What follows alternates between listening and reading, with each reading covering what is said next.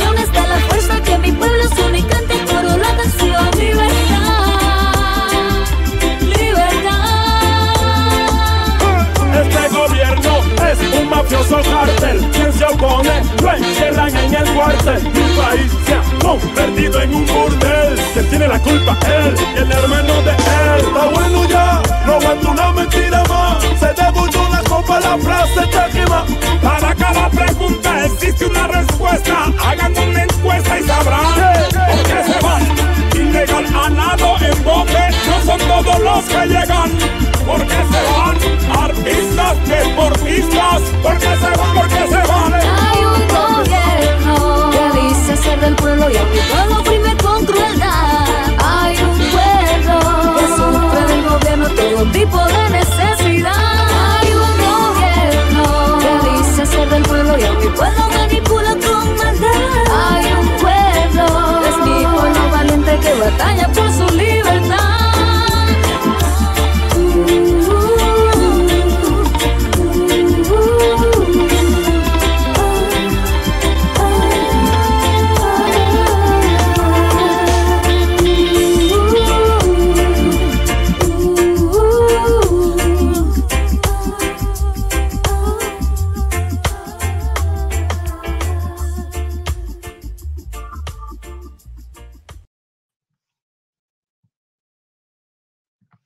buenas noches a todos los hermanos. eh, espero que estén bien todos. Muchísimas gracias por su participación. Saludar por acá a Magalis Marín, Huicho, saludos y muchas bendiciones para usted, Magali.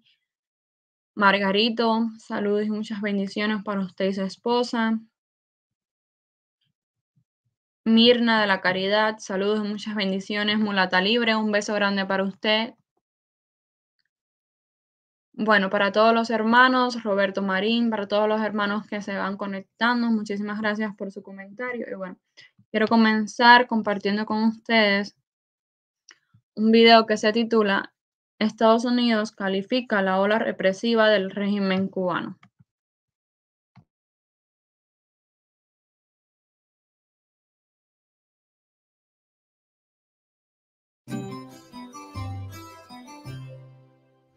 En su discurso, Blinken expresó Today, more than a million political prisoners are being held in over 65 countries. Hay gobiernos en estos momentos que son bien críticos en casa. Existen más de un millón de presos políticos que están detenidos en alrededor de 65 países. Ahí están incluidos más de 600 presos encarcelados injustamente en Cuba por solo participar en marchas pacíficas del pasado julio. El reporte del Departamento de Estados Unidos sobre las prácticas de derechos humanos en 2021 señala que los problemas significativos de derechos humanos en Cuba incluyeron informes creíbles sobre, entre otras, desaparición forzada, tratos crueles, inhumanos y degradantes a disidentes políticos, condiciones penitenciarias duras y potencialmente mortales, arrestos y detenciones arbitrarias. Brian Nichols, subsecretario de Estado para Asuntos del Hemisferio Occidental, recordó a través de un tuit y un video publicado en su perfil la más de 1.400 detenciones arbitrarias y expresó, el 11 de julio, el régimen cubano desató una ola de opresión implacable contra su pueblo. Todas y cada una de las voces que se alzan ante esta represión marcan la diferencia en la vida de los injustamente perseguidos. La recién creada Asociación de Peloteros Cubanos Profesionales, que busca representar a Cuba en el próximo Clásico Mundial 2023, no espera apoyo de la Confederación Mundial de Béisbol y Softball, pues en su directiva prevalece uno de los herederos del clan Castro. El martes, las autoridades del béisbol en la isla llamaron engendro a la nueva agrupación de peloteros y afirmaron que la Federación Cubana de Béisbol cuenta con el apoyo de la Confederación Mundial y otras organizaciones internacionales. Estos opinantes cubanos incluyen como a engendros al relevista Harold D. Chapman de los Yankees de Nueva York, al primera base Julieski Gurriel, el segunda base Aled Mis Díaz y el jardinero Jordan Álvarez los tres últimos de los Astros de Houston. Salvador Blanco, Radio, Televisión Martín.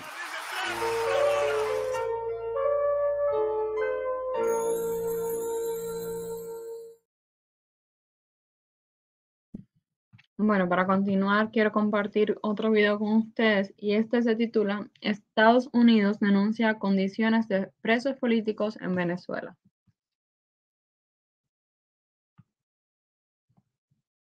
Deme un pequeño segundo, que acá he hecho algo. Ok.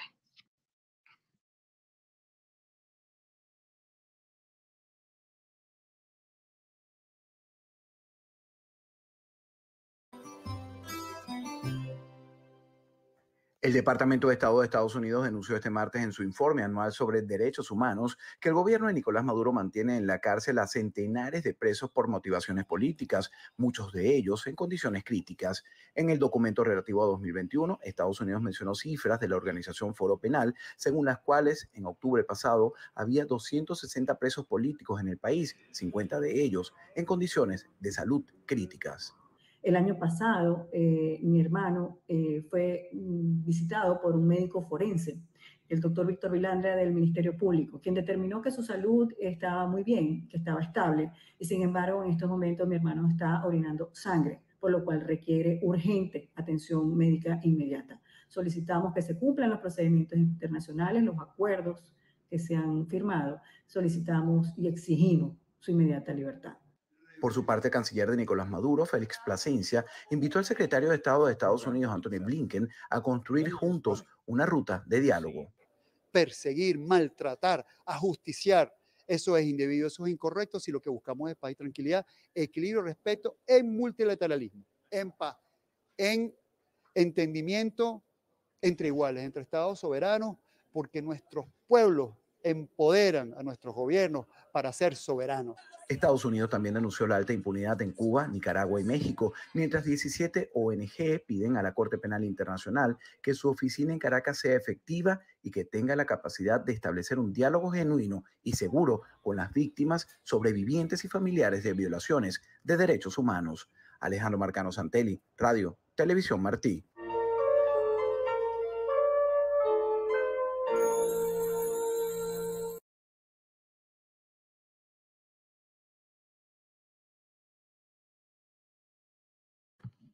Una situación muy difícil a los presos políticos de Cuba, Nicaragua y Venezuela. Bueno, el próximo video que voy a compartir con ustedes es una denuncia y se titula Familiares temen que su hijo esquizofrénico preso del 11 de julio se quite la vida en la cárcel. Y dice el comienzo, familiares de Dairon Martín Estrada, uno de los sentenciados por las manifestaciones del 11 y 12 de julio en el barrio habanero de La Guinera, alertan que padece de esquizofrenia y está sin medicamento en la prisión de máxima seguridad del Combinado del Este. Voy a compartir con ustedes la denuncia y también un video.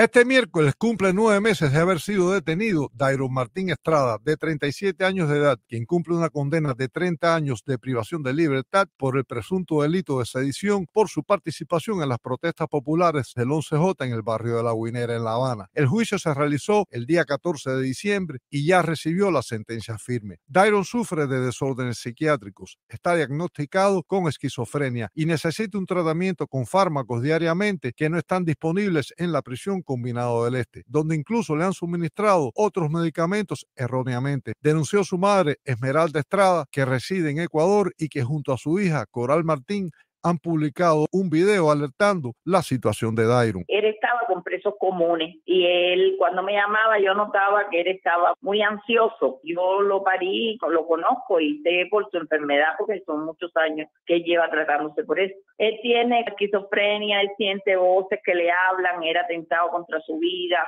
se deprime y entonces hay que medicarlo. Estuvo un tiempo que estuvo medicado y no podía trabajar ni nada, era en la casa, lo único que hacía era dormir por la cantidad de medicamentos que le daba. Después hubo que internarlo porque la doctora ya cuando era atentó contra su vida dijo que no era seguro que él estuviera en la casa. Yo me tuve que mudar a casa de él para poder ayudar a la esposa que trabajaba. Todo eso aparece en su historia clínica, pero al final nada de eso lo tuvieron en cuenta ni lo miraron en juicio. Son pésimas las condiciones existentes en el Combinado del Este para que su hijo sea atendido como debe por el padecimiento psiquiátrico que sufre. Reitera Esmeralda. En el combinado a ellos no le dan medicamentos. Entonces mi nuera es la que se la tienen que conseguir y llevársela, pero esa medicina no se la dan a él. Esa medicina la llevan para un hospital que hay dentro del combinado. Entonces él no sabe lo que él está tomando. Ya en dos ocasiones a él le dieron dos medicamentos equivocados y le hizo reacción. A ellos no le importa si se muere, si se ahoga, yo vivo preocupada por eso. Una serie de cosas que una persona normal le trae problemas. Ahora imagínese una persona que está enferma de los nervios. Él es una persona que necesita estar con su familia. Tomás Cardoso Radio y Televisión Martí.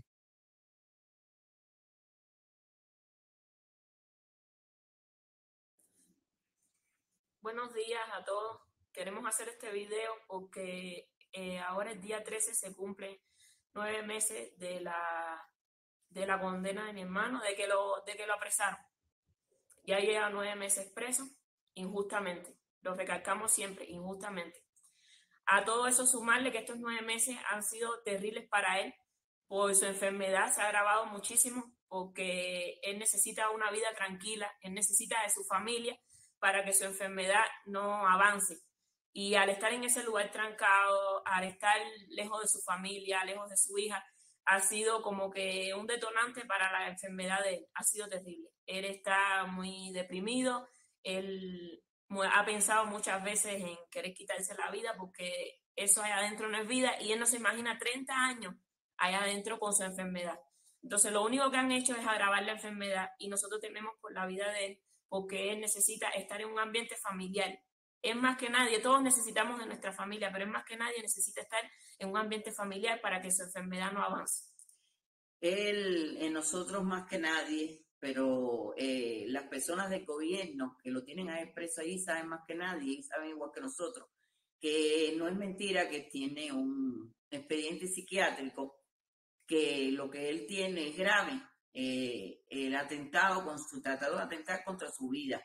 Entonces, eso es estando en su casa con su familia porque tiene problemas psiquiátricos que tiene que atenderse, tenía que atenderse, se seguía atendiendo en el hospital y seguían con su medicación, una persona profesional que lo atendía desde que él empezó y sabía su situación. Entonces, imagínense adentro que él no ha tenido más consultas, que las pastillas se le han dado hasta equivocadas, que los medicamentos que no son de él y le han hecho reacción, de que él se siente allí asfixiado con todos los problemas que hay adentro que pueden ocurrir y a veces hasta sin él tener ni ninguna situación. Y entonces todas esas cosas a nosotros nos preocupan nos preocupa desde que él entró y ya va a ser nueve meses y está condenado a 30 años de prisión. Hace poco hubo una discusión eh, combinada, unas personas, eh, unos presos tuvieron una discusión y a él, y a, él, a él y a todos le quitaron la llamada y, y como que mezclan las cosas y, y, todos pagan. Y son cosas que a él lo afectan porque él no tiene problemas y no trata de no meterse con nadie para no tener problemas y entonces eh, al final pasa algo y los incluyen a todos. Y estamos hablando por todo, porque la prisión es injusta para todos los muchachos, para todos los que están ahí. Exactamente. Entonces nosotros queremos que tengan consideración, que piensen en todos esos presos que están allí y en las condiciones que tienen algunos presos de su problema de salud mental. Entonces, que tengan, porque no sabemos en qué momento una persona que, tiene la situación que tiene mi hijo de los nervios puede hacer o atentar contra su vida. Entonces, nosotros responsabilizamos al gobierno porque es el que lo tiene. Mientras estuvo en la calle, la familia se ocupaba y su esposa se ocupaba de su enfermedad. Pero en este momento nosotros ya no podemos hacer nada, solamente esto que estamos haciendo. Gritar por ellos porque son los que están ahí dentro y están sufriendo y él con su enfermedad. Vamos a seguir luchando por él y por todo, hasta que todos sean libres, hasta que todos estén en su casa con su familia, nosotros vamos a seguir luchando por ello. No vamos a parar, no nos vamos a cansar. Lo único que queremos es la libertad de todos de todos. Y mi hermano, sobre todas las cosas, con su enfermedad estamos muy preocupados. Queremos verlo libre, queremos que tenga el calor de la familia, queremos estar con él. Libertad. Libertad para Cuba, patria y vida. Bueno, lo primero que compartí fue un audio de la madre y el segundo video es, un, eh, es una denuncia de su mamá y de su hija muy triste. La madre y su hermana mujeres muy valientes que están pidiendo la libertad de, de, su familiar, pero también están pidiendo la libertad de todos los presos políticos injustamente encarcelados sin cometer ningún delito, solamente pedir libertad y querer vivir en un mejor país. De verdad que es una situación muy difícil. Mi solidaridad y apoyo con estas eh, dos grandes mujeres que están pasando por esta injusta situación de tener a su familiar preso y con este problema. De verdad que tenemos que seguir apoyándolo y bueno, ser solidario con todas las, eh, familias, los familiares que tienen presos eh, injustamente en las cárceles de la dictadura de Raúl Castro y Díaz Canel.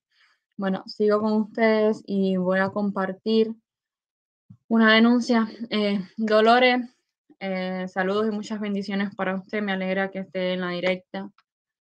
El próximo audio que quiero compartir es una denuncia y se titula Berta Soler fue arrestada por impago de multas y salida de La Habana sin permiso.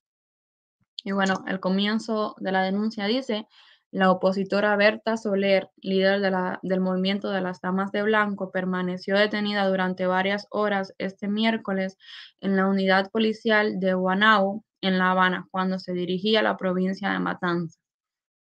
Tras su liberación, Soler dijo a Radio Martí que según un agente de la policía, dijo, le dijo que debía notificar su salida de La Habana y que fue arrestada por un presunto impago de multas. Ah, aquí le comparto el audio.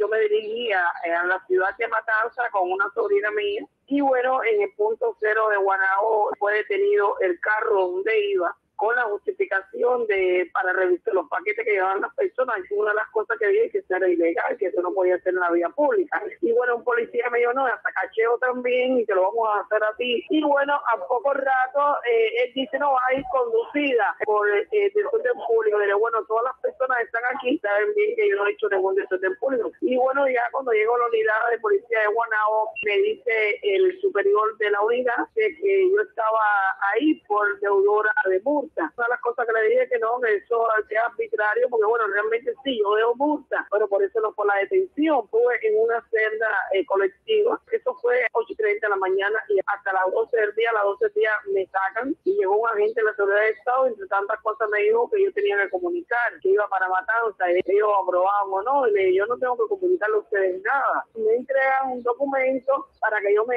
me presente en la oficina de multa para que ahí un acuerdo allí con ellos para pagar, porque según ellos debo 8.600 y pico de pesos, moneda nacional, que yo no lo voy a pagar, puesto que eso son multas impuestas por el Departamento de Seguridad del Estado todos los domingos cuando yo hago la tentativa de participar en misa.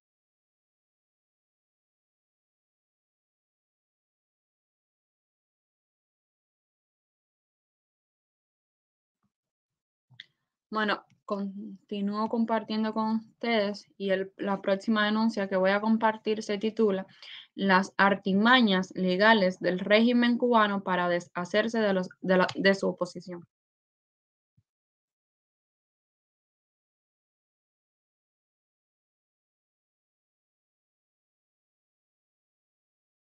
La policía política pretende llevar adelante un proceso penal contra el opositor Librado Linares por el delito de amenazas que le hiciera una conciudadana. Linares, líder del movimiento cubano Reflexión, fue citado el pasado sábado a la unidad policial de Camajuaní, Villa Clara, donde reside. Hace unos cuantos meses, aproximadamente 10, en una cola de una bodega, sostuve una discusión con una partidaria del régimen sin mucha moral y muy enardecida. Fue una discusión normal, eh, nunca fue menos de dos metros y medio la distancia a la que estuvimos. Esa discusión duró unos cinco minutos y al cabo de dos días me citan para la policía, según dice la seguridad del Estado. Ella me formuló una denuncia por amenaza. Le dije, bueno, mira, vamos a poner una multa administrativa para no llevarte a juicio porque el marco sancionador es entre seis meses y un año de privación de libertad. Pero, yo no puedo saltar el precedente de que alguien diga que yo le hice una amenaza y que por eso va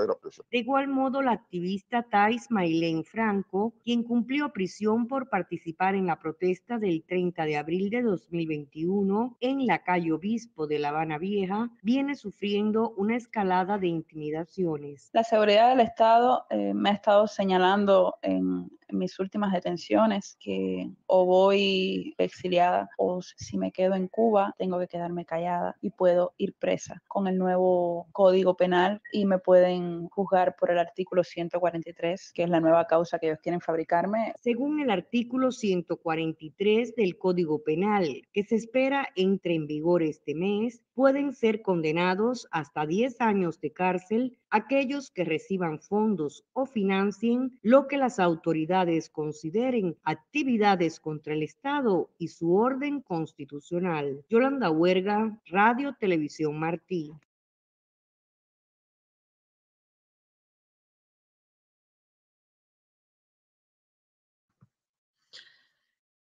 La próxima denuncia que les voy a compartir se titula Se avecina otra subida de precios, alertan cubanos tras nuevas medidas ministeriales.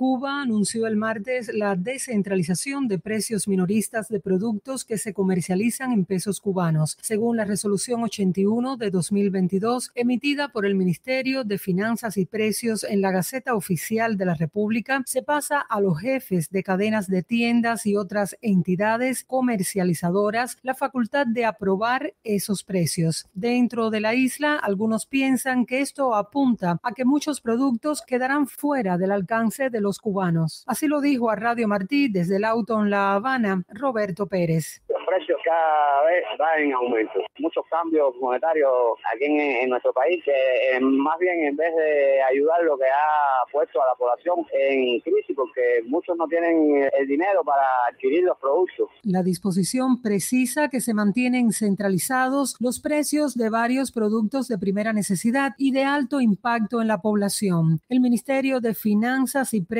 reconoció que el proceso demanda de una supervisión y control que permita identificar las desviaciones, violaciones y rectificar oportunamente. Para hablar del tema, contactamos en España al economista cubano Elías Amor. Yo creo que en función de tal y como está publicada esta resolución, lo que estamos es ante un parche que no da una solución al problema general que necesita la economía cubana, que es que el mercado sea el instrumento de asignación de todos los bienes y servicios de la economía. Parchear solamente a determinados productos y dejar fuera otros es crear una asimetría que no beneficia en absoluto al funcionamiento del mercado. Y por tanto esta medida no va a tener ningún resultado positivo ni tampoco negativo. Simplemente es una más de las puchas que el régimen va tomando en este proceso de experimentación permanente desde que se aprobó la tarea de ordenamiento. Por lo tanto, no hay que hacerse grandes expectativas con respecto a esto hasta que no se generalice el mercado en el conjunto de la economía cubana. Para Radio y Televisión, Martí y Bet Pacheco.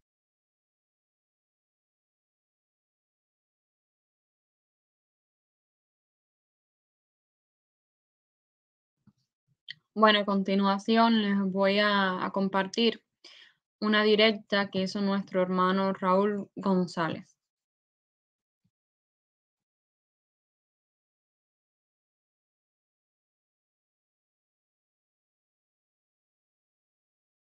Diferente. Contra lo que queremos un cambio pacífico dentro de Cuba. Y esto viene debido. Oye, caballero, nuevamente, esto es en fuego ahora mismo. Hace falta que se conecten ahí. Nuevamente estoy siendo acosado por la mal llamada Policía Nacional Revolucionaria. Nuevamente ahora aquí en mi vivienda la policía, no sé cuál es la situación de que ellos tienen contra mi persona. Ahora vamos a bajar para mostrar cómo sigue aumentando la represión contra los que pensamos diferente, contra los que queremos un cambio pacífico dentro de Cuba. Y esto viene debido a la protesta que realizamos el domingo pasado, exigiendo al gobierno cubano eh, el cese de la represión, el hambre y la miseria por la que está sometida a nuestro pueblo y también la falta de medicamentos e insumos, de los cuales en estos momentos estoy requiriendo por la falta de atención médica que no tengo y medicamentos para mi patología de corazón. Ahora vamos a mostrar nuevamente cómo estoy siendo acosado por la seguridad del Estado. Por favor, compartan, compartan este video urgentemente, de estos ahora mismo sin fuego, en sitio mi vivienda aquí. Compartan, compartan urgente.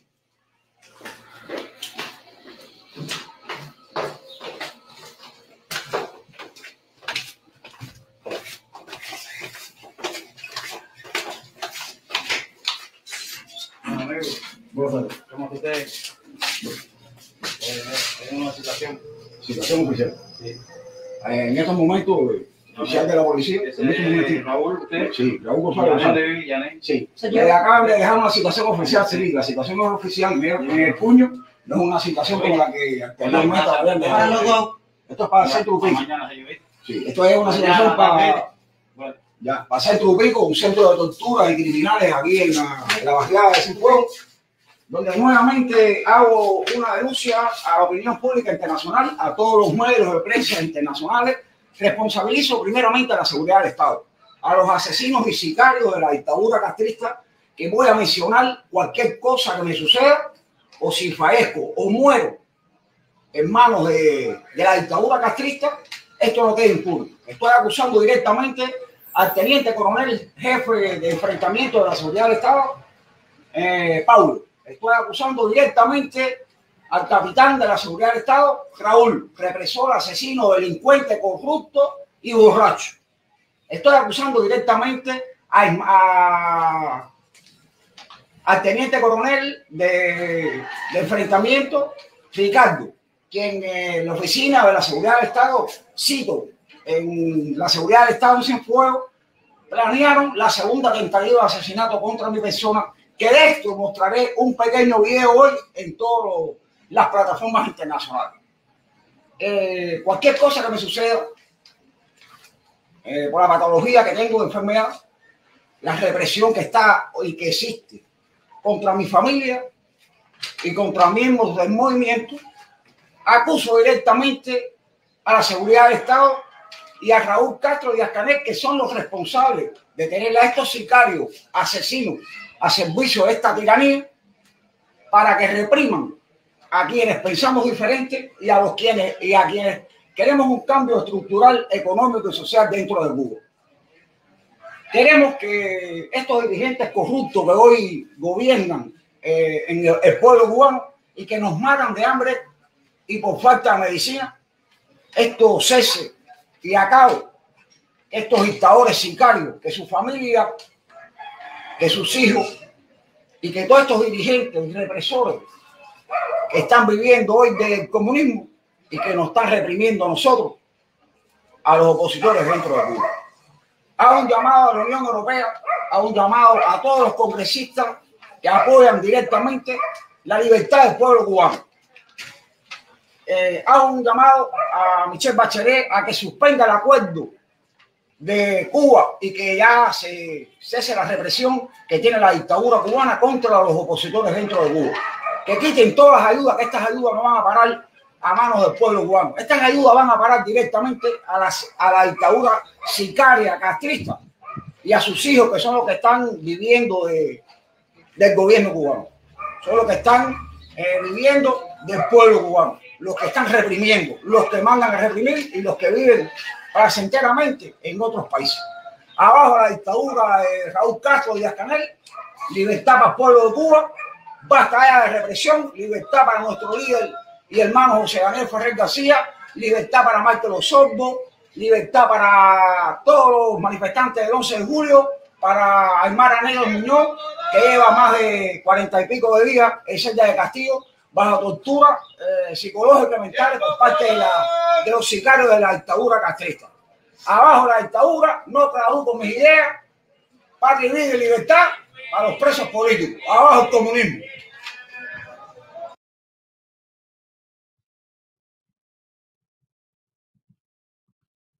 Bueno, hermanos, con este último video me quiero despedir de todos ustedes. eh, agradecerles por su participación, por sus lindos comentarios y bueno, eh, además está decirles, sé que todos lo hacen, que tenemos que seguir apoyando a todos los presos políticos, a todos los cubanos que sufren el asedio eh, por parte de la policía política y la dictadura del régimen de Raúl Castro y Díaz Canel.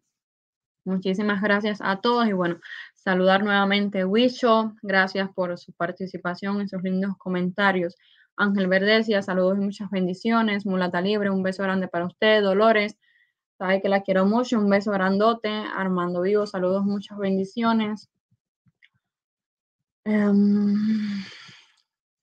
K9, saludos y muchas bendiciones. Armando, no, no tengo ninguna noticia de, de nuestro hermano Fernando. Brenda Hernández, saludos y muchas bendiciones para usted y su familia. Mar, igual, muchas bendiciones, espero que esté bien. Bueno, para todos los hermanos, muchísimas gracias por su participación. Patria y vida, libertad para todos los presos políticos. Y bueno, como siempre les digo, espero que pronto, muy pronto, todos los presos políticos estén en libertad con sus familiares y que nuestra Cuba sea libre lo más pronto posible. Muchísimas gracias a todos, que tengan una linda noche, patria y vida y libertad para todos los presos políticos.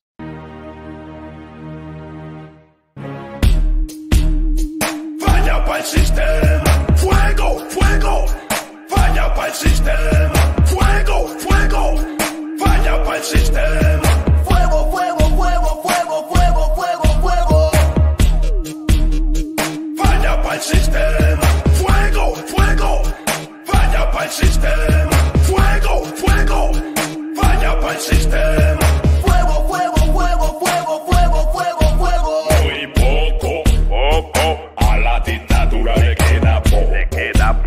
régimen de los Castro le queda poco. Le queda poco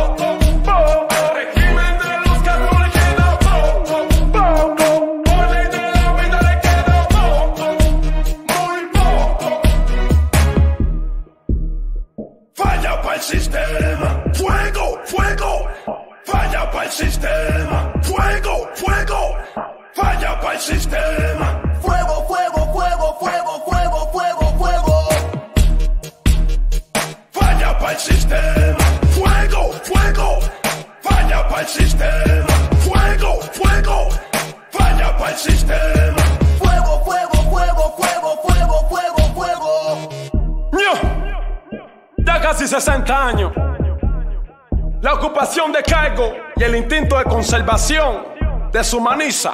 Pero gracias a Dios, la conciencia popular de cambio ha llegado hasta los mismos cargos. Son ustedes, los que oprimen son ustedes. Los que nos tienen atrasados nosotros son ustedes. Los que nos tienen pasando hambre a nosotros son ustedes. ¿Qué les pasa a ustedes? El estratega mucho